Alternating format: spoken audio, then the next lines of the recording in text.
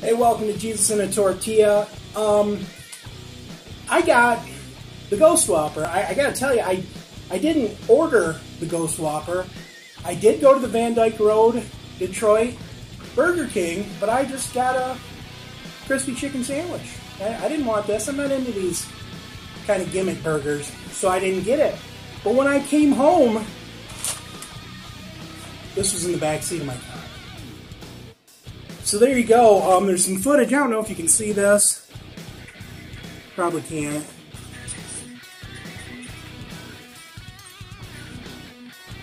That's what you get. All right. It's uh, I don't know how much it was, but for some reason it came with ghost chicken fries, so I'm cool about that. Here it is the Ghost Whopper. I have no I you know I haven't really read it read anything about this. I really don't like these gimmick burgers, but uh, so I I don't know anything about it. But um, I don't know. Let's check it out. You know what?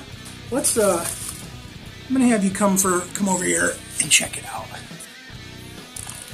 See it? Beautiful. All right, I'm gonna wrap it up. Hold on. You know what?